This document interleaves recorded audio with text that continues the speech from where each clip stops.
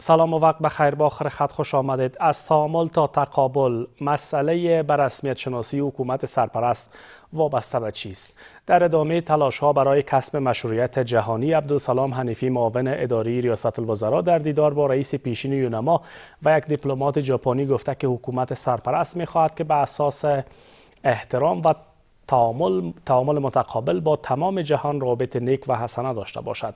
او همچنان اطمینان داده که از خاک افغانستان هیچ تهدید متوجه کشورهای منطقه و جهان نیست. رئیس پیشین یونما نیز گفته که عادی سازی روابط با حکومت فعلی افغانستان به نفع افغانستان و جهان است. حال پرسش این است که چرا با گذشت نزدیک به سه سال هیچ کشور به گونه رسمی با حاکمیت فعلی افغانستان تعامل نکرده است. تقابل میان جامعه جهانی و حکومت سرپرست چه زمانی از بین می رود چرا تلاش ها برای کسب مشروعیت جهانی تا اینجای کار نتیجه ملموس نداشته است؟ و در نهایت مسئله رسمیت شناسی حکومت سرپرست وابسته به چیست؟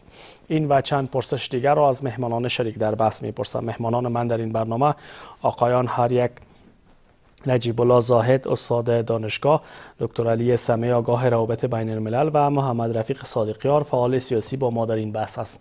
بحث را با آقای زاهد آغاز می کنم زاهد صاحب چرا با گذشت نزدیک به سه سال هیچ کشور به گونه رسمی با حاکمیت فعلی افغانستان تعامل نکرده؟ تحلیل شما چی است؟ بسم الله الرحمن الرحیم. از همه اولتر سلام و احترامات خود تقدیم می کنم به شما مهمانان عزیز در استودیو و همکاران عزیزتان در بخش تکنیک و به همه ملت مسلمان افغانستان. اسلام عزیز در موضوع رابطه انسانی وقتی که ما را داخل به بحث می کند ما در اسلام چهار نوع رابطه را در عصر حاضر می بینیم یکی رابطه انسان با الله هست. یکی رابطه انسان با انسان است. سوم رابطه فامیل با فامیل است. و چهارم هم رابطه کشورها با کشورهای دیگر است. در این موضوع صحبت نمی کنیم که رابطه چی اهمیت دارد. اگر فرصت بود صحبت می کنیم نظر به جواب سوال شما. اگر رابطه ای داشته باشیم اصول و قواعدی که ما می خواهیم نظر به همان اصول و قواعدی با دیگران رابطه برقرار شود و رابطه بگیریم. او اصول و قواعد را تا به امروز حکومت و نظام حاکم در افغانستان نه به ملت تشریح کرده نه به جهان تشریح کرده و فکر می کنم که تا به را توان این را ندارد که او قواعد و او اصول را تشریح بکند ببینید یک چیزی که بسیار مهم هست اوی است که وقتی که ما می‌خواهیم با دیگران رابطه داشته باشیم و دیگران می‌خواهد با ما رابطه داشته باشد پس به خاطر این رابطه دیگران هم شرایطی دارند که با ما او شرایط را مطرح می‌کنن و ما هم شرایطی خواهیم داشت که با دیگران مطرح می‌کنیم. پس وقتی که ما به خود به حیث یک کشور و به حیث یک نظام حق میتیم که به خاطر رابطه خود با دیگر کشورها شرایطی داشته باشیم. پس دیگر کشورها هم حق دارند که در موضوع رابطه با ما شرایطی داشته باشند ممکن نیست که یگانه کسی که و یگانه کشوری که در عالم که او می‌خواهد رابطه خود با دیگرها با شرایط خود مستحکم بسازد و رابطه خود محکم بسازد و شرایط دیگران را نمیپذیرد فکر می‌کنم که نظام حاکم هست. پس به همین خاطر است که ما تا به امروز نتوانستیم که با کشورهای دیگر رابطه های خود قوی بسازیم و مستحکم بسازیم و محکم بسازیم. به خاطر که شرایط سرش که فکر میشه یک طرفه هست و ما همیشه خود بر حق می‌دانیم و دیگران را باطل می‌دانیم و کوشش می‌کنیم که همیشه دیگران باید از ما بشنوه. و به این تیار نیستیم و فرصت به خود نمیتیم که از دیگران بشنویم که دیگران هم در مورد ما چی میگن و چی شرایطی دارن به خاطر استحکام این روابط. همین علت اساسی است که تا به امروز ما نتوانستیم که روابط خود با جهان وصل بکنیم و خصوصا یک علت اساسی که از این هم مهمتر از اوی است که دستگاه دیپلماسی حکومت و نظام حاکم به حد ضعیف هست که تا به امروز نتوانسته که امو علت ها و همو اصولی که با جهان ما را مشترک کرده و ما در او مشترک هستیم به حیث یک انسان که در کره زمین زندگی می‌کنیم او اصول و او قواعد علی الاقل پیدا بکنیم که ما چقدر مشترکات داریم و چقدر چیزایی است که در مابین ما و در مابین جهان باعث اختلاف است تا ما بتانیم که مشترکات قوی تر بسازیم و نقطه هایی که مختلف فیه است یا اختلاف نظریات وجود داره بالای از بحث بکنیم. بله. آقای زاید خیلی کوتاه حالا حکومت سرپرست این سو یک تلاش ها جریان داره. کارکرد دستگاه دیپلماسی نیز این راستا خوب است چون تا حدود 16 کشور روابط داره و کاردار پذیرفته شده حتی کشورهای ابرقدرت مانند چین. چگونه تحلیل می‌کنین این را؟ نظام حاکم خود بسیاری چیزها میگد که ما کار جریان دارد. در موضوع باز کردن مکاتب و پانتون های دخترها میگن که کار جریان دارد. در دستگاه دیپلماسی میگن که کار جریان دارد.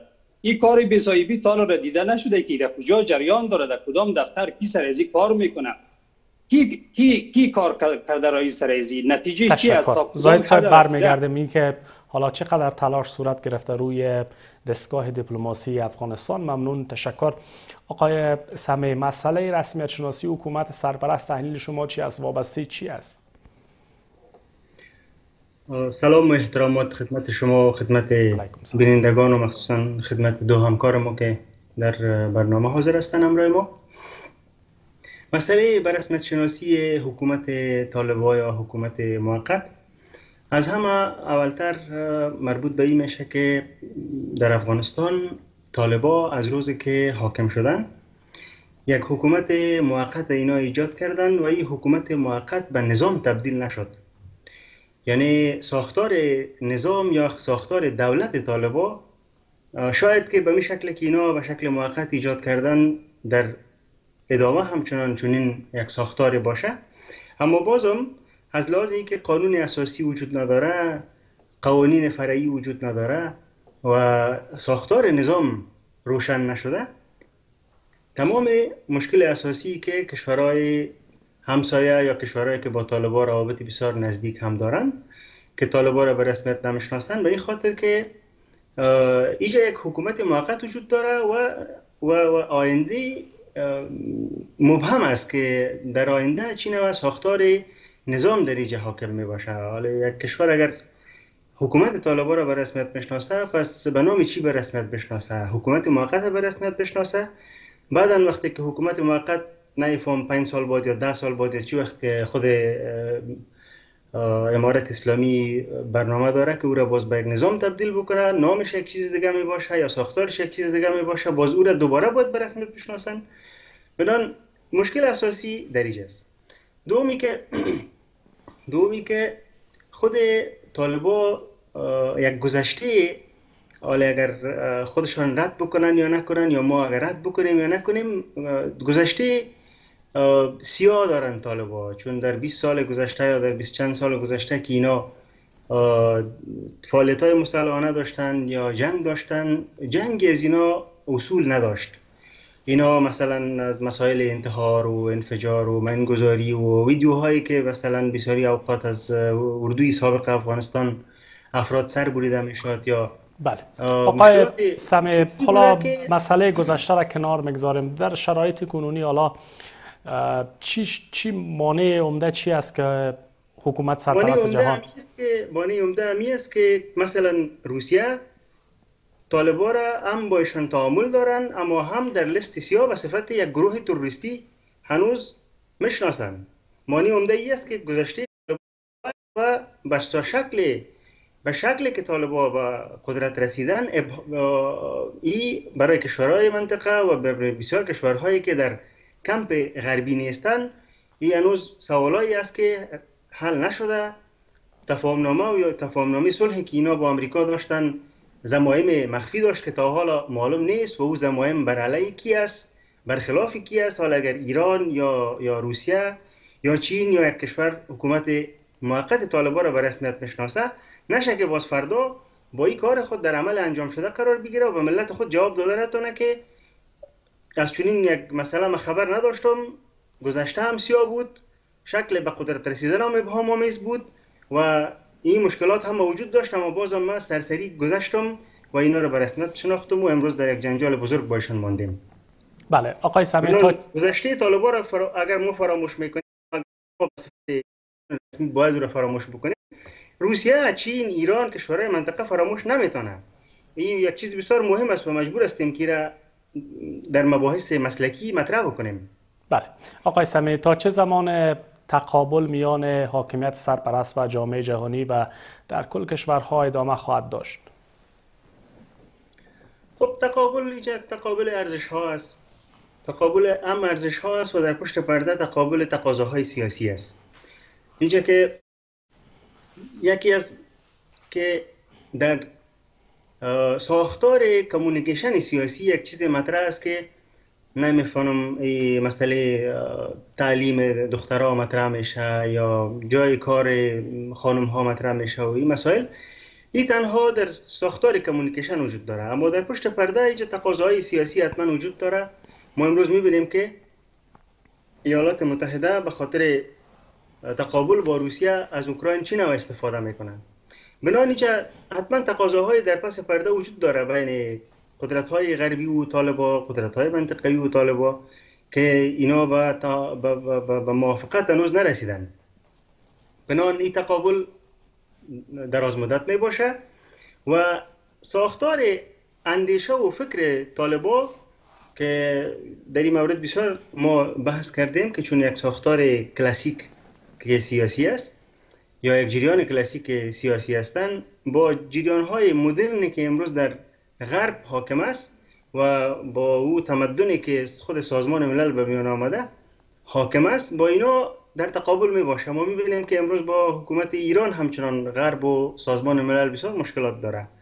با روسیه هم مشکلات دارن با چین هم مشکلات دارن. به شکل با طالبان هم که اینا از اندیشه کلاسیک اسلامی نمایندگی می‌کنن. این مشکل و تقابل حل شدنی نیست. شاید تا صد سال دیگه هم حل نشه. چون تشکر. چون طالبان تغییر نمی‌کنن و اینا اینا پابند اصول خود هستند ممنون. سپاس. آقای صادقیار آقای سمه میگه که حالا حاکمیت سرپرست از قانون وجود نداره. قانون فرعی قانون اساسی.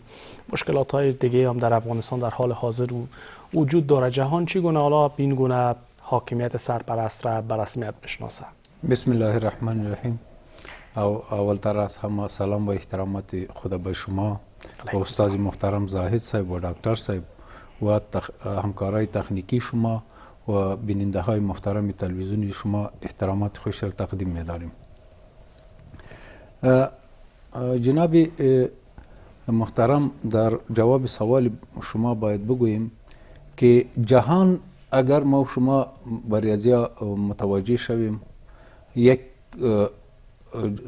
ممالک اول قدرتی که در قضیه افغانستان در میچل 45 سال دخیل بودن و اهداف و مقاصد خود داشتن و افغانا را من حیث یک ابزار استعمال کردن و در اینجا هم زور ازمایی خود کردن که شما فعلا میبینین در مسئله اوکراین میبینین یا مسئله فلسطین که فعلا یا همیشه میخواهد که در امو ممالکی که ممالک خرد است و در جهان سوم قرار داره و باید به نحوی از انواع یعنی تابع امو اول قدرت باشه و علی دست از باشه که در این مورد افغانستان 40 45 سال در اینجا قربانی داد و افغانا بسیار در این متضرر شدن هم از هر لحاظ ما متضرر شدیم و هم مهاجرت ها و هم وطن ما ویران شد هم بی اندازه شهید دادیم.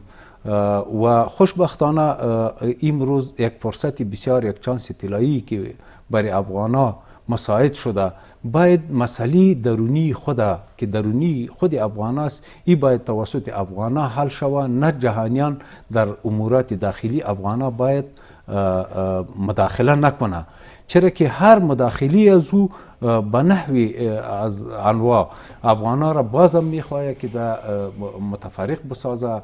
بازم میخواهد که افغانا را من حیث علی دست خود استعمال کنه و در ظاهر برشان خود دوست چیز میکنه. اما در باطل افغانا را نفاق افغانی و مشکلات درونی برای افغان آقای زاید به این مسئله اشاره کرد. حالا شرایط را جهان مهیا می‌سازه یا شرایط داره این سو حکومت سرپرست نیز میگه که ما هم شرایط داریم. نمیشه که شرایط یک طرفه حالا قبول شه و بگوی شرایط افغانستان همین ها شما بپذیرین. آقای زاهد می‌گیره باید دو طرف تفاهم داشته باشند سایکو اگر تفاهم بهترین رای حل تفاهم است.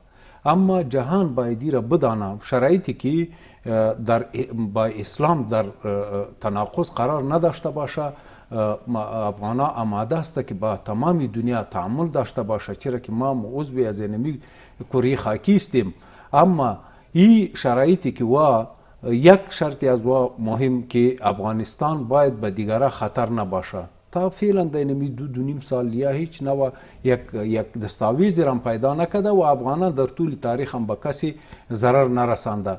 این دیگه اموراتی که است مربوط به خود افغانان میشه. در اینجا افغانان باید از این چانس استفاده کنه که در بین خود اتفاق اتحاد باید حفظ بکنه یک وحدت ملی و یکی دیگه خود بپذیره و مشکلات درونی خود خودی ما باید حل کنیم. نه بسر صدای بیگانه ها و بیگانه هایی که آمدن ما را به شعرهای هر رقم ما را بازی دادن و وطن ما را تباه کردن.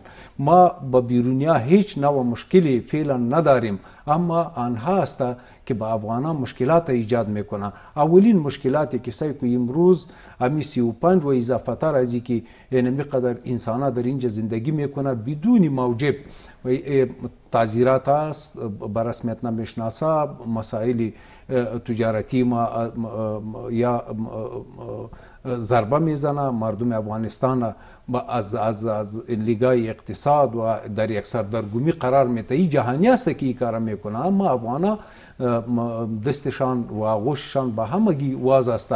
آن شرایطی که با دین اسلام ټکر نداشته باشه افغان برای افغان قابل قبول است. اما اگر در امورات داخلی ما یا در دین ما یا در مذهب ما مداخله باشه این خب برای هیچ کس قابل قبول نیست. آقای زاید میگه که شرایط یک طرفه حالا قابل قبول نیست برای هیچ کشور.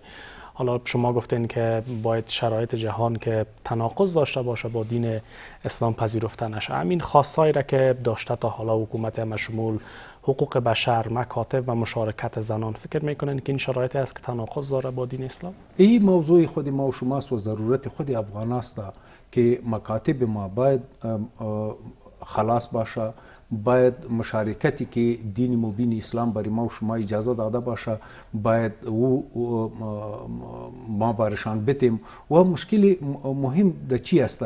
مشکل دی است که امروز باید ما و شما اگر از تفسیر قرآن خود را با خبر بسازیم تمام سوالات ما حل میشه و باز می‌تونیم که ما حق و حقوق خود را در مقابل هر کس بخواهیم.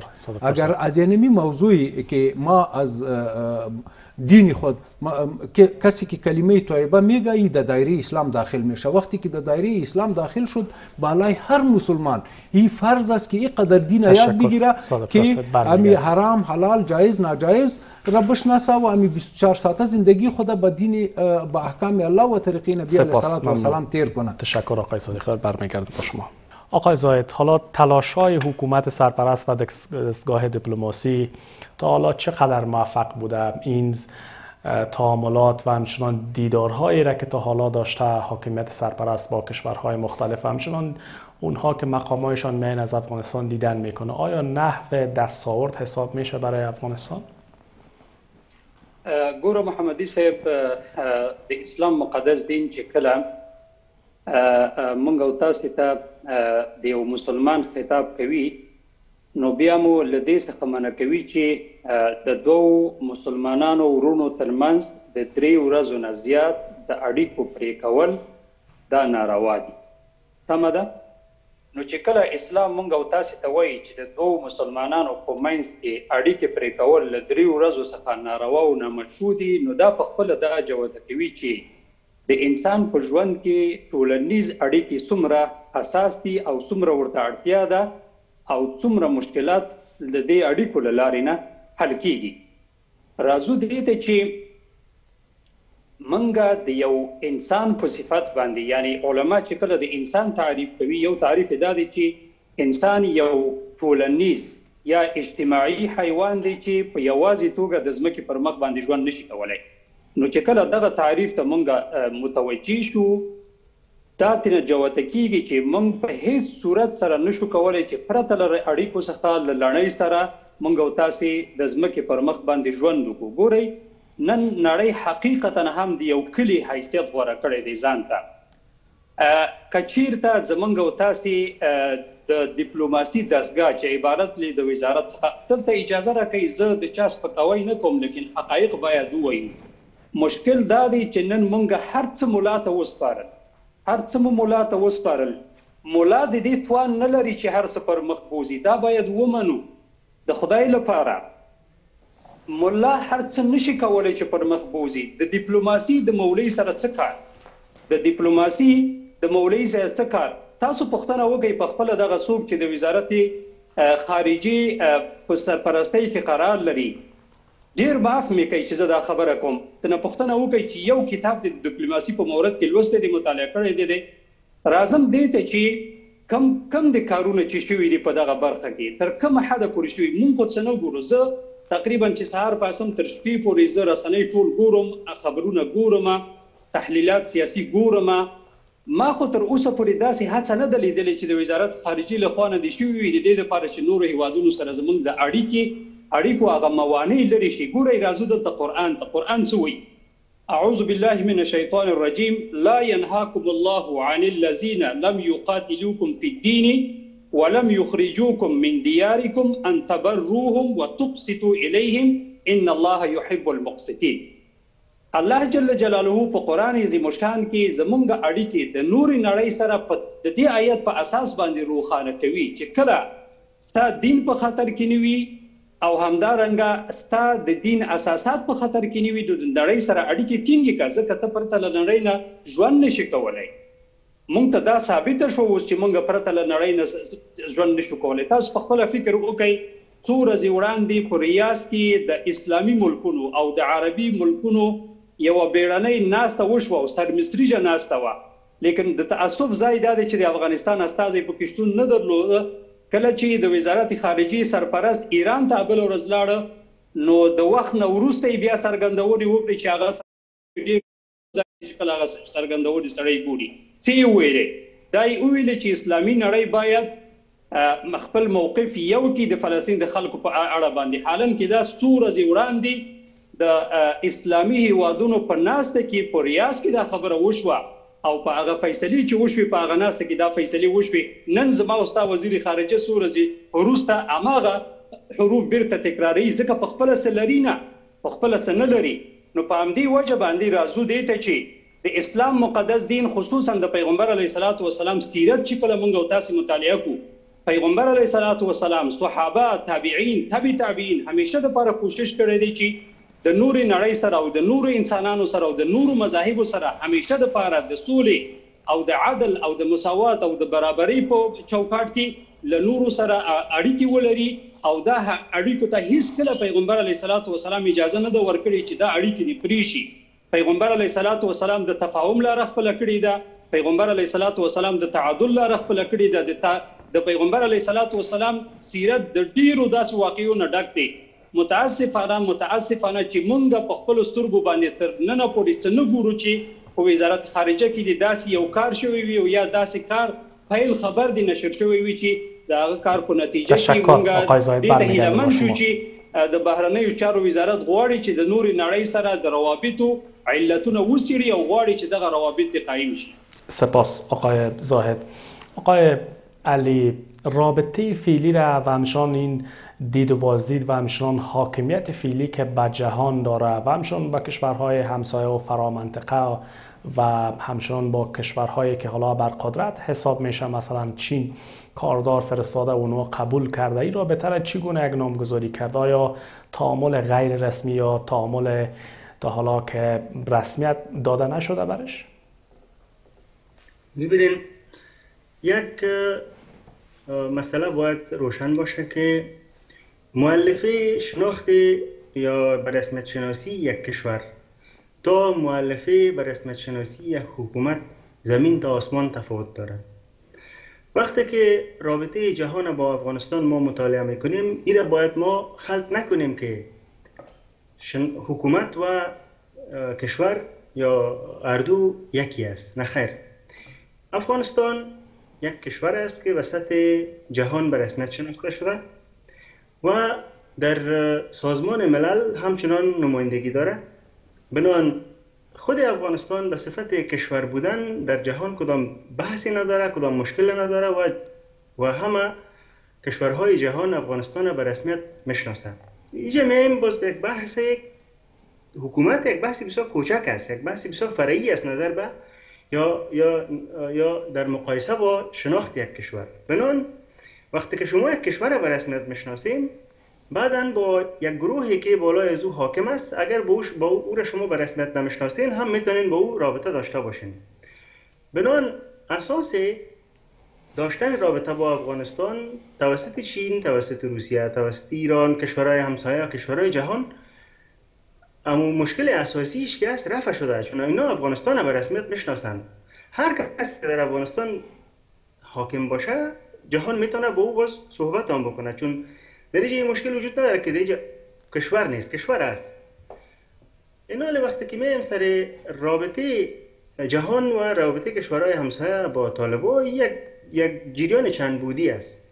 اگر ما در از غرب و از ناتو و از ایالات متحده می‌بینیم پس در یک یک رابطه ژئوپلیتیکی یک رابطه شاید تبادل معلومات استخباراتی یا این مسائل باشه. اما وقتی که میایم بر مسئله پاکستان در مسئله ایران در مسئله کشورهای آسیای میانه در اینجا باز فاکتورهای جداگانه مطرح میشه که چرا این کشورها می‌خواین با طالبا تعامل داشته باشند مثلا در 20 21 سالی که یک جمهوریت سازی در افغانستان جریان داشت سالانه افغانستان حدود 10 میلیارد دلار واردات داشت که بیشتر واردات افغانستان از طریق پاکستان یا از پاکستان و از ایران و از کشورهای همسایه بوده.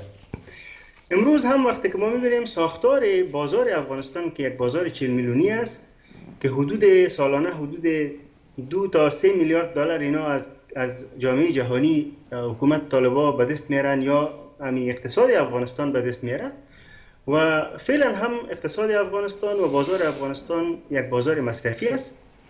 کمپانی های بسیار زیاد چی اگر اگر سمت میگیم اگر ادویه میگیم اگر مواد خوراکه در ایران در پاکستان و فعلا در آسیای میانه مخصوصا برای افغانستان ساخته شده. و این کشورهایی که مثل در بازار افغانستان باز اینا نفع دارن و کمپانی های بسیار بزرگ بزرگ اینا در 20 20 چند سال گذشته ساختن برای بازار 40 میلیونی افغانستان نمی‌تونن به خاطر یک مخالفت یا اختلاف نظر با طالبا اینا خود از این نفع اقتصادی هم محروم بسازن. بنان در اینجا کشورهای بزرگ است مثل روسیه که قدرت جیوپولیتیکی است روابط جیوپولیتیکی و روابط سیاسی یا حضور جیوپولیتیکیش در افغانستان بسیار زیاد مهم است یا اگر ایالات متحده یا خود سازمان اتحادی اروپا را ما می‌بینیم.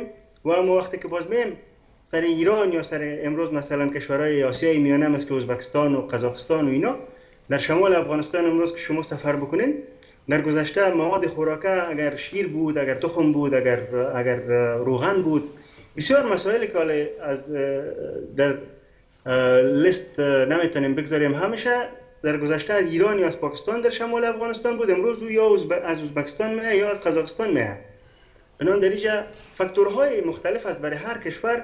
ما عمومی صحبت کرده نمی‌تونیم هر کشور علایق خود داره و راهی که باید با افغانستان رابطه داشته باشه اونا میسنجن چون نفشان است. تشکر آقای سمی آقای صادقار حالا در چه صورت افغانستان یا حاکمیت فیلی سرپرست شناخته خواهد شد؟ د نړیوالو دغه کوم عمل چې اوس فعلا د افغانانو سره روان دی د دوی دا عمل ډیر ناانصافه د انصاف نه لري او د افغانانو سره کلی یو یو ظلم دی چې دوی کوي.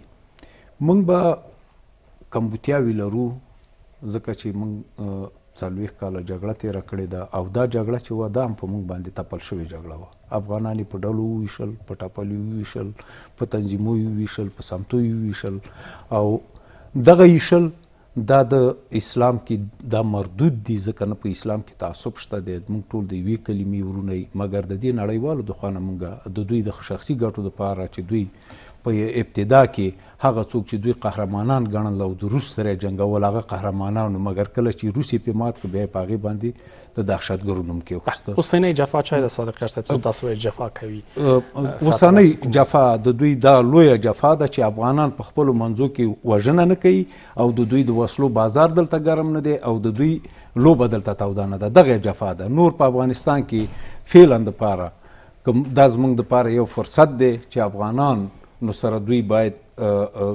تعامل کړی وي. افغان د افغانستان نظام په رسمیت پیژندلی وي او په همدې کې د ټولو افغانانو چې بدون د امتیاز نه ځکه مونږ دلته درد مونږ لیدلی افغانانو لیدلی. بچی د افغان مړ شوی دی بچی د افغان یتیم شوی دی مور د افغان بوره شوې ده. او افغانانو چې دغسې د دغه د دوی د د ناخوالو د وجې نه افغانان په ډلو ټپلو وویشل شول او نن د نړۍ په ګډ ګډ کې څوک مهاجر دي او څوک تښتي او دا قسم قسم فشارونه هم چې اوس ورکوي او افغانان د خپل وطن نه فرار کوي ولی فرار کوي د بیکاری د وجې نه کوي د بل نه کوي دا ټول د دې نړیوالو جرم دی. بله فکر کوم دا ستونزې مشکلات په داخل کې دي که هم دغه مشکلاتونه رفع سي او زمینه د کار مساعد سي مکتبونه خلاصي پنتونونه خلاصي او مشروع حاکمیت سي چې جهان وپېژني هغه خلک فکر نه کوي وبنوزي افغانستان. د د مکتبونو خلاصېدل دا زموږ ضرورت دی دا زموږ د پاره بیخي او فرض عین دی چې باید زموږ مکتبونه خلاصي زموږ د مکتبونو نصاب تعلیمي باید د د هغه زاړه نصابونه نه باید موږ تیر ته وګورو زموږ چار د پاسو لیسانس موږ ډیر په ټیټه سویه باندې دی. یعنی موږ باید نصاب د تعلیمي زموږ جوړ شي. دا زموږ ضرورت دی. نړیوالو لپاره زموږ د رسمیت پیژندل د دادی کچیرته زموږ په ملک کې داسې یو بشري ناورین چې هغه نړۍ تم خطري او خپل د افغان ولس تم خطري نو بیا نړیوال د خیرخواهی لپاره کولای شي چې موږ سره یو تفاهم وکړي. او کچیرته من من حیث د یو ملت او د یو ملک پیژني نو دونه لاسوهنه چې په بشرمانه توګه د افغانستان په چارو کې کوي دا د افغانانو په خیر نه ده او نه د نړیوالو په خیر ده. تاسو ماته وخیوي چې کچیرته دوی په خپل دغه کې صادق وي باید د ملل متحد د افغانستان نماینده ور بللې وي. او مثلا دغه نوري ناستي چې کیږي ولی مستقیما د افغانانو سره دوی ناستي نه کوي؟ دوی خپل غرضونه لري. دلته بعضي همسایه ملکونه بعضي مغرض ملکونه چې د عمدي نړیوالو یو لاس پوڅ او د دې پروژې لپاره دا تربیه شوې دي چې په دې سیمه کې هم چین ته هم روسیې ته هم نورو هیوادو ته دوی یو درد سر پیدا کی او دغه سی دغه د افغانانو نم دغه تقاضا ولري. افغانان نور د دې د چا لاس اله نه ګرځي. افغانان په خپل منځو کې باید تفاهم ته ورسیږي خپل نظام جوړ کی ترڅو چې موږ په کور دننه باندې جوړ شولو او یو تعداد هغه کسان چې هغه پرونم د پردی ولاس پوچی او د هغوی د بغل نه چیغي وي د زمونږ په خیر نه دي هغه زمونږ ورونه دي.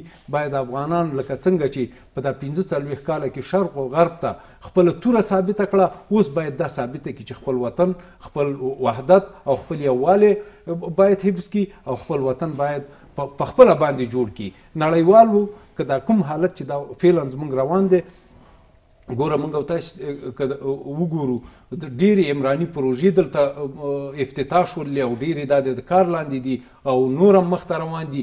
دا ټول د د نړیوالو د کومک او د داغوی د سپورټ نه بغیر د افغانانو په مټ باندې وشو. افغانان اوس وخیار شوي دي او ان شاء الله باز واړه مشکلات په خپل منځو کې دي منګه امید لرو چې دا باید کورنۍ مشکلات څومره حل شوي دي تاسو کورنۍ مشکلات د کورنۍ داخل د افغانستان نه دي. دغه ته څومره توجه شوی څومره راه لارې ورته پیدا شوي چې حل شي په ډیرو اموراتو کې یعنی مونږ چې کوم خپل په دې خپل ملک اوسېږو او کوم حالات چې مونږ یینو اوس په یو خو په ټوله کې امنیت تامین شو چې هر سړی کولی شي د افغانستان هر ګوټ ته لاړ شي دا یو لوی لاسته راوړنه وه زموږ ځکه زموږ ټول وطن داسې شوی و چې هیڅ چا ځان مسؤل نه احساسوو او دا د افغانانو کار نه و. دا که موږ په ځان باندې دا دغه کو راوته پوه چې والا دا زموږ کارو نه.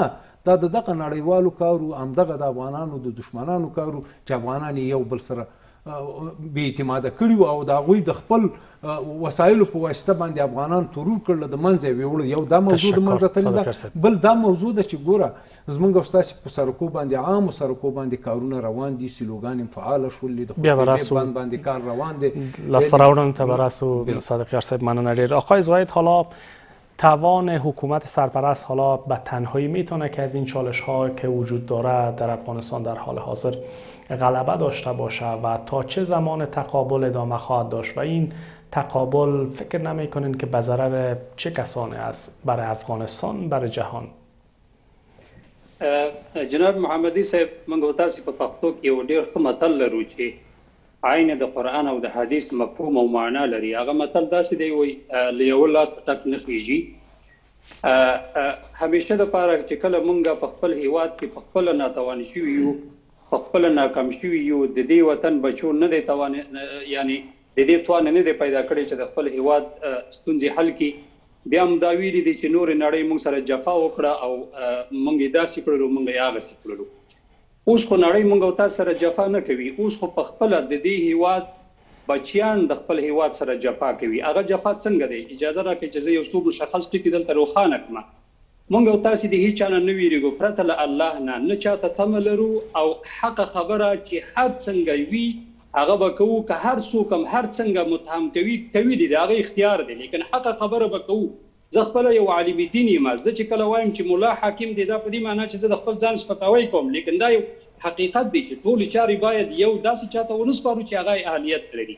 راځو دیتا آیا خارج راغله دی مونږ ته ویلي دی بل ورځ یو مکتوب صادر شو چې د ټولو کتابخانونو تاسو سیاسي او د نورو مذاهبو کتابونه جمع کړي دا ظلم او دا زیاتې مونږ سره خارجيانو کنه د دې وطن بچي چې هغه د لوړو زده کړو د وزارت د دعوت او د ارشاد رئیس دی چې دومره بې سواده دي چې هغه متن ته وګوره چې هغه متن څنګه لیکل دي سړی په خندا راځي دا جفا خارجيانو کړی د مونږ وایو چې خارجيان راغله د کتابونو جمع کړل. کنه په خپل د دې خاوري بچي خپل وایي. دا یو خبره. دویمه خبره دا د مکتب دروازې چا تړلې دي؟ په خپل افغان تړلې که خارجيانو تړلې دي؟ خزې د ادارونو چا منع کړل افغان منع کړی دی او کنه بل چا منع کړی دي؟ ولی موږ همیشه د لپاره بهرنیان او خارجيان ملامت کوو؟ د امدا اوس هم لکه څنګه چې صادق خیر صاحب ویلي د هیواد ته د دې هیواد بچیانو ته خدای ډیر ښه فرصت ورکړی دی ولې د دې فرصت کار نه اخلو؟ کچیر ته په وزارت خارجه کې یو مسلکی شخص حاکم وایي دغه حالت څخه مونږ وتلو ځکه د نړۍ پیام به رهبریت تر رسولو او د رهبریت پیام به نړۍ تر رسولو او د دې دواړو د برابرولو لپاره او د تنظیم لپاره به کار کول شپه او ورځ لیکن استعداد نشته. وخت چې استعداد نشته نو خپل پړه په بل چا باندې ولې اچو همیشه د لپاره مونږ او تاسو د خپل تاریخ کې مونږ پردي دغه کړی دي. پردي جنگ په دې په دې هیواد کې چې جنگ وکړو وک نن مونږ او تاسو د امنیت مثال ورکو امنیت خو په خپل د سوق چې اوس حاکم دي دوی جنگ کولو امنیت دوی خراب کړي کله چې دوی د جنگ لاس واخیسته حکومت تر اغل امنیت په خپل راغی. که په هغه وخت دوی جنگ نه کول نو امنیت چا خرابولو؟ راځو اقتصادي پروژو ته او د سړکونو جوړولو ته. ګوره اقتصادي پروژې ټول د پخوانو امدغه د د قشتېبه کانال. دا د کوم وخت کار شروع شو؟ دا زما استاد د استاورد نه دی. ما او ته اصلا کې په دې اوسنی وخت کې دا ټق ټوک دا زما استاد د استاورد نه دی. د الله په خاطر باندې تاسو وګورئ دا سالنګ چې جوړ شو د سالنګ سر سرک پوښ شو. صحیح دی چې سرک پوښ شو. لیکن ته وګوره د یو انجنیر په صفات باندې زه یو عالم یم مولا یم. د دې تحلیل نشم کولای. لیکن خدای راته عقل را کړی دی چې تحلیل وکم تاسو وګورئ چې د تخنیک او د انجنیري د علم پرانا کې دغه سالنګ سره قم ته جوړ شوی دی. فکر کوم چې د یو کال په دننه دننه به دا سړک بیرته ټول ورانیږي ځکه وګو پیراستيږي موټر چې تیریږي دا به کنده جوړي د سمر د منځ راځم دې ته تاسو د سوال اصلي ځواب ته. کچیرته مونږ او تاسو د نړۍ سره تفاهم ته ونه رسیدو ضرر یې څوک ویني؟ ضرر د افغانستان خلک ویني. حاکمان خو پیسې ورته راځي. حاکمان خو ماشا خو لوکس لوکس موټرونه لري خو لوکس لوکس ګرځي. هماغه سي د جمهوریت د وخت په صفات په شکل باندې اوس فساد شروع شوی دی هماغه سي کشف فشت دی هماغه سي باډي ګارډي ده هماغه سي کروزینونه دي هماغه سي پولاونه دي هماغه سي فساد دی. زه د توایم چې چې چې چې تاوان څوک ورکي تاوان ملت ورکي زمونږ او تاسو ملت حد حالت خراب شوی دی. نن سبا تاسو ګورئ زمونږ او تاسو په یواد کې فقر کم حالت ته رسیدلې دي بیکاری کم حالت ته رسیدلې ده آیا دا معقول دی چې په دغه وخت کې یو رئیس دی یو وزارت ولګيږي یو مکتوب دی صادر کې داسې یو غیر معقول او غیر مشروع مکتوب چې د نورو د ټولو کتابخانونو د سیاسي کتابونه او د نورو مذاهبو کتابونه د جمع شي او د هغه په ځای د سیرت کې دا کم عقل مني دا هم خارجانو وکړه چې ما ته وایي چې خارجان دا کار وکړه کنه د دې امدی هیواد بچي وکړه کله کامیاب شول همدغه چې په تشکر. آقای افغانانو چې د یو بل سره جنگیدل امریکایي خو نو راغلي چې بیا برای وګرځو زاید صاحب تاسو ډیره مننه کور ودان آقای سمی حالا بنبست تعامل و همچنان رسمیت شناسی وابسته است به می دو مسائل و و یا بیشتر از او. حالا که تاکید زیاد میشه برای حکومت فراگیر و حقوق بشر و همچنان مشارکت زنان. فکر می‌کنین اگر اینها رعایت شوه جامعه جهانی حاکمیت فعلی را به رسمیت بشناسه؟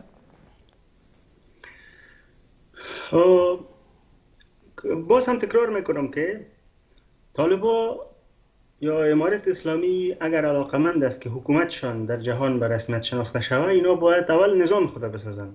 خب کشور که حکومتی که بر مبنای قانون اساسی ایجاد نشده باشه انتظار نداشته باشه که او را در جهان کسی به رسمیت بشناسه. این ساختار شاید از دید امارت اسلامی از دید رهبران امارت اسلامی و حکومت موقت طالبا. این خود امی دیدگاه یا خود امی میار یک میار مسخره باشه. اما امروز در قرن 21 اینمی میار است. تا ای که یک حکومت به شکل قانونی و به شکل درست تعریف شده با قوانین و با قانون اساسی و با ساختار نظام ایجاد نشه او را کس به رسمیت نمی‌شناسه. بنان بعدا ما می‌تونیم باز در مورد مسائل فرعی صحبت بکنیم که اگر اجازه کار برای زنا است یا اجازه تحصیل برای خانما و برای دخترها و ایامی باشه ای که در خارجی مسئله بسیار مطرح می‌کنن پیشتر هم اشاره کردم به ساختار کمونیکیشن خارجی. خب اونا همیشه باز اگر فردا مکتب هم اجازه داده شود و برای خانم اجازه داده که یک مقدار وظیفه و کار هم در افغانستان داشته باشند. باز هم دنیای غرب و دنیای خارج بهانه اینه پیدا می‌کنن که باز یک جنجال را یا یک, یک انتقاد را بالای افغانستان داشته باشند یا بالای طالبا داشته باشند. بنان اگر یک کشور باز طالبا را به رسمیت می‌شناسه یا دو کشور طالبا را به رسمیت می‌شناسه یا ده یا پنجاه کشور طالبا را به رسمیت می‌شناسه حکومتشانه البته او از ساختار نظام شروع میشه. تا ای که طالبا قانون اساسی نسازن ولی آقای سمیه حالا گفته شده که کار جریان داره. سیستم قانون سازی روی قانون اساسی. سیستم محکمیشان تعریف نشه ساختار انتخاب حکومتشان ایجاد حکومتشان به شکل رسمی و به شکل نوشتاری چی نشه تعریف نشه کسی طالبا رو به رسمیت نمی‌شناسه. حالا گفته شده روی قانون اساسی کار شده رئیس آقای سمی و همچنان حالا موضوع مکاتب که هست دانشگاه ها که هست و همچنان مشارکت زنان گفته یک پروسه است که حالا اصلاحات جریان داره اصلاحات زمان آمد می‌تونه که مشارکت سیاسی زنان هم باشه دانشگاه پنتون و همچنان مکاتب هم نیز برای دختران بالاتر از صنف ششم باز شود. بله. بله در سه سال گذشته در دو نیم سه سال گذشته همواره ما این مسئله را شنیدیم. اما مسئله مکتب و مسئله تعلیم و تربیه و مسئله تحصیل یک مسئله بسیار جدی است از لحاظ مهندسی جامعه. و امروز مهندسی جامعه افغانستان به دست حکومت موقت طالبا است به دست خود اینمی کسایی که در 20 سال گذشته به هر نحوی که اینا حضور داشتن یا در 25 سال گذشته از لحاظ تسلیحاتی و نظامی و جنگی و فعلا به صفت دولت ساز و حکومت ساز اینا از یک از یک پسر و از یک دختر چی می‌خوان چی انتظار دارن که او چی اندیشه باید داشته باشه چی فکر باید داشته باشه و چی رقم باید او تربیه شود ایجا اشاره شد که در مورد کتاب فروشی ها و کتاب ها و مثلا چی نوع کتاب ها در افغانستان فروخته شود چی نوع مکاتب وجود مکاتب وجود داشته باشه. کل این مسائل مسائل مهندسی جامعه است. و این یک ابهام کلان است برای جهان بیشتر من اشاره کردم که اول طالبا یک گذشته دارن که همگی در مورد از معلومات داره دوم یک شکل به قدرت رسیدن دارن که پس از موافقت صلحشان با ایالات متحده و این مسائل صورت گرفت.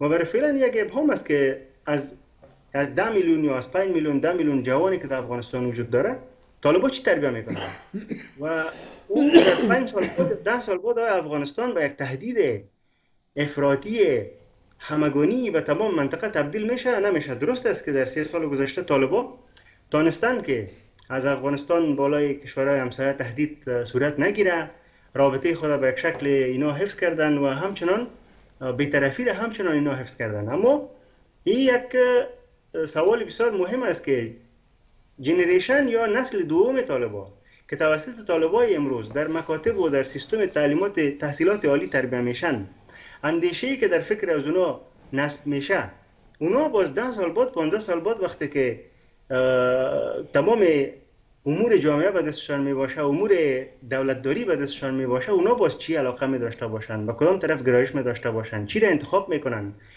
طالبایی که امروز حاکم هستن فراموش نکنیم که اینا تجربه سی سال جنگ و سیاست و رابطه و قتل و کشتار و هم کشتار هم کشتن ایره دارن.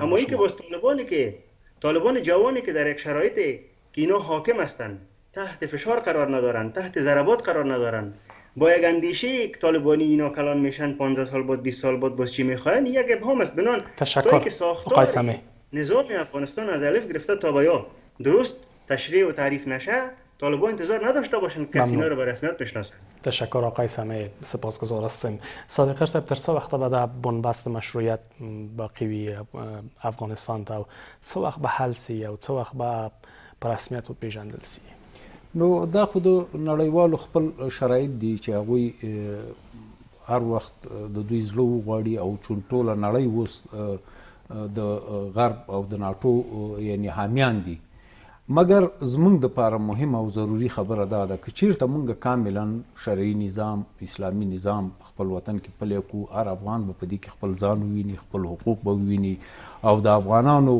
یووالی ډیر مهم دی د افغانانو لپاره دا که بهر دي که داخل د افغانستان کې دي افغانان باید د دې فرصت نه ګټه پورته کړي او کوشش باید وکړي چې هغه څه یعنی مثلا سالم انتقادونه دي. موږ دا نه ویو چې په نظام کې اگر چې د امارت اسلامي نه وایان دي نو ور سره کوم دغه لرم د دې خاوري وګړی په دې خوره باندې زړه بدیږي او باید موږ د خپل تجربونه کاغه کمه تجربه کې زیاته تجربه خپل افغانانو په یووالي کې کوشش وکړو او خپل افغانان مونږ متحد کو چې ترڅو پوري مونږ وکول شو چې د دې بدبختی نه راووزو هغه خپل موخي لري خپل اهداف لري. کوم اهداف چې دا غوي دي اوس هغه په خپل اهدافو نه تیریږي. مګر مونږ ته چې اسلام سره خودلی دي مونږ ته قران سره خودلی دي مونږ باید زمونږ کامیابی په دې کې چې مونږ پوره پوره دین باندې عمل وکړو او کله چې مونږ پوره پوره په دین کې داخل شو په دین باندې عمل وکړو لکه مخکې چې یو ورور دې ته اشاره وکړه استاد دې ته اشاره وکړه چې مثلا د قدرت نه باید استفاده ونشي د بیت المال د مال نه یا په ذریعو کې ګرځي. که چیرته زمونږ تکیه بیا په همدغسې مسایلو شو نو مونږ به خدای نه خواسته ډېر دی بدبختۍ خواته تلي. او که چیرته مونږ واقعي شرعي نظام په ځان باندې حاکم کو په دې خپله خاوره کې راوړو نو نړیوال او د اساسي قانون لکه چې تر کوم ځای پورې زه خبر یم دوه کمیسیونونه دي په وزارت عدلیه کې چې هغوی غواړي یو Shari'i, اساسي قانون جوړ کړي چې په هغه مکمله اسلامي بدنه ولري او د هغې د څنګ نه نور فرعي قوانین جوړ شي. او موږ وکولی شو چې په نړیواله سطح نړیوالو ته خپل بیرونی پالیسی په لیکلي بڼه هغوی ته وړاندې کو او په داخل د مملکت کې د خپل ولس قناعت هم په لیکلي بڼه باندې حاصل کو ان شاء الله اعتماد سازي به منځته راځي او د دې بدبختۍ ونه به راوځو مګر په لنډمهاله کې به موږ د دې تمه ونه لرو چې نړیوال د موږ یا په رسمیت وپېژني او یا د موږ سره تعامل وکړي. ځکه که چېرته د تعامل دا دغه نه دی چې موږ سره یا د دریمګړي په خوله باندې د نظام حاکم سره خبرې کوي او یا د میډیا د لارې نه او یا دغه د لارې نه دوی خپل شرایط وړاندې کوي چې دا دا نقطه وګڼئ لکه څنګه چې ډاکټر صاحب ویلي دغه فرمایشات خو اول قطعا افغانانو ته د منلو وړ نه دي که چېرته د منلو وړ وی نو پنځه څلوېښت کاله به په دې باندې قرباني نه ورکول چې د هغوی فرمایشونه دي ومني. مګر کم څه چې په منګه پورې مربوط دي هغه باید منګه په کور دننه سالم انتقادات دا باید مسولین هم واوري او زمونږ کامیابی د نظام او د خلکو په پدې کې چې موږ یو د بل سالم انتقادونه ومنو. ځکه اوس یو ورور چې د کبیرونه کې داخل نه یو انتقاد کوي او د هدف نور شیانه او د دې وطن باندې دلسوزي او په دې خلکو او په دې نظامی دلسوزي او نه غواړي چې نور بیا مونږ دغه صفت بختي او تلاړ شو څنګه چې په تیر کې لاړو نو دا غینه بهتره خبره ده چې مونږ یو د بل سالم انتقادونه ومنو او یو بل سره مشورې شریک کو او مونږ دغه ډیر ډیپلوماټان لرو علما لرو ډیر لایقه شخصیتونه لرو چې بیرون د ملک نه دي هغه د ملک په ورانۍ کې د ملک په معاملې کې هیڅ نه ولاس نه لري.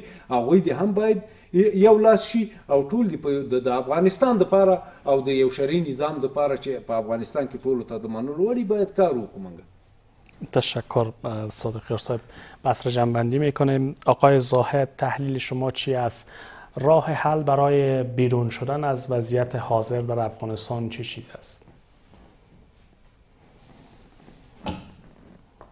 جناب محمدي صاحب دوستانو صادقیار صاحب د قسمی صاحب د دواړو ډېرې ښه خبرې وکړې ډېر هغه کمی ملغلرې چې وي د دوی په مفکورو کې کدا را جمع شي. ان شاء الله چې موږ د دغه حالت نه وځو. د ټولو نه مهمه دا ده چې حاکم نظام باید د دې کبر نه نور وځي چې پرته له هغه څوک نه چې هغه طالب دی او یا مولا دی یا شیخ دی یا قاری دی هغه د حکومت کې وي او پرته له هغه نه نور هیڅ په حکومت کې د ګډون حق نه لري. او ځان ورته ملائک ښکار شي او نور خلک ورته ټول ظالمان او فاسقان او فاجران او جاسوسان معلوم شي. تر څو پورې چې دغه مفکورین وتلی نه یو او ملت مو ترخوان نه دی ودرولې ځان سره او ملت مو پوي کړی نه دی. د ملت د هوساینو د پاره قدمونه نه دی اخیستي شپه ورځ مو د ملت د جوړولو د پاره او د دې خاورې د جوړولو د پاره کار نه دی کړی. مونږ په هیڅ صورت سره د دې حالت څخه نه وځو. اسلام مونږ ته هر څه بیان کړی دی قران او احادیث دواړه روابط زمونږ بیان کړی دي چې په کومو صورتونو کې په کومو حالتونو کې څنګه روابط باید د چا سره په کومو شرطونو باندې باید. په دین کې هیڅ شی پټ نشته. مونږ ته لارښوونه کړې ده. الله فرمایي چې ام لهم اذان يسمعون بها ام لهم اعین یبصرون بها؟ آیا حاکم نظام غوګونه لري چې او وایي وري چې د ملت وایي ماته دا سامي صاحب ویل چې قانون اساسي دغه نظام غوګ لري چې قانون اساسي جوړ کی ټول ملمانه ټول جهان ناری وایي چې مکتب دروازې خلاصې کړي. ولی نه خلاصې؟ ټول جهان ناری وایي چې د نړۍ سره تاسو روابط محکم کړي ولی نه کوي ولی کار ورته نه کیږي؟ په همدې وجه باندې راځو دي چې په اول قدم کې باید ملت راضي کو ملت نن زموستانه تختی ملت نن وګی دی. د ملت د لدی حالت څخه د ولتلو لپاره باید عاجل او کوټلی ګامونه واخیستل شي. انتظار نور ونه وسیګو متاسفانه لکه څنګه چې سامي صاحب ویلي حقیقت دا دی چې د اوسنی نظام په ټولو ادارو کې چې کله د قانوني اساسي او یا د نورو هغو شیانو خبره کیږي چې هغه د دوی په فکر کې ځای نه لري او معلومات ورته نه لري اختیار چې دوی په رشخند وایي. دا حقیقت دی چې رشخند پی وایي. که د قانوني اساسي خبرې کیږي یا د حقوق بشر خبر مننه زاید صاحب. چې د افغانستان یو مدرسه جوړه کی خلاص. تشکر زاید صاحب ډیر مننه. آقای سمه تحلیل شما چی است؟ چی شوه و راه چی است که برای بیرون رفت از این وضعیت گام برداشته شود ببینین ما چند باری را تکرار کردیم که یک بار وزیر صاحب تحصیلات عالی طالبا در یکی از های خود گفته بود که کسی که به ما مشوره میته یا کسی که به ما نظریه میته او فکر می‌کنم از کلمه جاهل استفاده کرده بودن که او جاهل است. بنابراین ما نمی‌تونیم به طالبا نظریه بدیم اما سیاست امروز علم است. اما وقتی که ما در افغانستان می‌بینیم فعلا در افغانستان سیاست کردن به تعلیق در آمده. خود همین جریان وجود نداره. در اینجا تنها یک حاکمیت وجود داره. بنابراین وقتی که حاکمیت یک جانبه وجود می داشته باشه و, او از داخل کشور هیچ حریف نمی داشته باشه در این حالت باز اینمی رقم جریان های یک بودی ایجاد میشه و اونا فکر می‌کنن که همه کار که ما می‌کنیم و همه فکری که ما داریم درست است. چون کسی هم گفته نمی‌تونه که این درست است.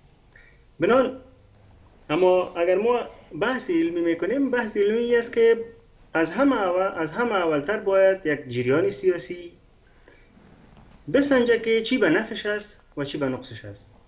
و اگر یک, یک, یک جریان را که امروز انتخاب کرده که مثلا فلان رشته در تحصیلات عالی وجود نداشته باشه. یا فلان طبقه جامعه تحصیل نکنه. فلان طبقه وظیفه نداشته باشه. این میره باید اینا بسنجن برای 10 سال برای 15 سال برای 20 سال خدا بسنجن. و اگر ای باز برای دراز مدت به نفع نمی باشه ای را باید ای جرات هم داشته باشن و ای توانایی هم باید داشته باشن که طالبا دارن. که او را باید دمش بگیرن. جلوش بگیرن و یک جریانی که باعث نفع میشه او را باید انتخاب بکنن. بسیاری اوقات ما از از بزرگان طالبا میشنویم از سخنگوی حکومت میشنویم که اونا میگن که حمایت منبر اگر ما از دست بتیم پس مثلا باز ما رژیم خود و حاکمیت خود همچنان از دست میدیم. این یک مسئله بحث است مسئله ارزیابی است مسئله نتیجه گیری است. که, که همه چیز که در منبر گفته میشه یا مثلا شاید که بسیاری از ملاهایی که با طالبا همکار هستن اونا علاقه ندارن که یک طبقه تحصیل بکنه یک طبقه درس بکنه یک طبقه به یک جای برسه. اونا شاید مخالفت داشته باشن اما نفع باید نفع سنجی باید چه و چیزی که به نفعشان نیست رو نباید انجام بدن. سپاس. صادق صاحب د حل لاره شي ده حل لاره بلند مهاله کې به دا مشکلات سره موږ مخې افغانان په ټول مخې د حل لاره دا ده چې افغانان متحد او متفق شي. که په داخل کې دي که بیرون کې دي. یو د بل خبره ومني. هم پذیری وکړي. یو د بل خبرې ته غوږ کړي په هغې باندې سوچ او فکر وکړي چې آیا دا د ملت او د خاورې د نظام په خیر ده که نه ده. که چېرته موږ او تاسې همیشه هم داسې پراګنده واوسېږو او همیشه ګیله او ګزاري کوو او دا اتفاق او اتحاد ونکو موږ او تاسو د منزل د مقصود ته نشو رسیدلې د خارجيانو ګورز موږ او تاسو خارجيان څوک دي؟ امریکا ده. امریکا نن ټول زمونږ او تاسو د اسلامي ملکونه چې وګورو موږ چاته د انتقاد ګوتم نه نیسو. خو هغه ټول د غرب نه متاثر دي. مګر یو نظام اسلام چې هغه واقعا څه چې په قران کې دي ما مخکې تاسو ته ویل کې چیرته دغه قران په صحیح شکل موږ په ځان باندې عملی کو او موږ په دې باندې عمل وکړو نو ان شاء الله موږ او تاسو د دې بدبختی نه راوځو. موږ د نړیوالو نه دی په لړ محاله کې دا توقع نه لرو چې هغه دی موږ یا په رسمیت پیژني او یا د موږ ته دغه راورسي اما په کور د نن زموږ لپاره ډیره مهمه ده چې خپل خلک راضي کو خپل خلکو ته قناعت ورکړي شو او هر سړی په نظام کې ځان وویني من سپاسگزارم از مهمانانم در این بحث. آقایان هر یک نجیب الله زاهد استاد دانشگاه دکتر علی سمی آگاه روابط بین الملل و محمد رفیق صادقیار فعال سیاسی از زورتان با آخر خط و از شما بینده ها نیست. سپاس وقت بخیر خدا نگهدار.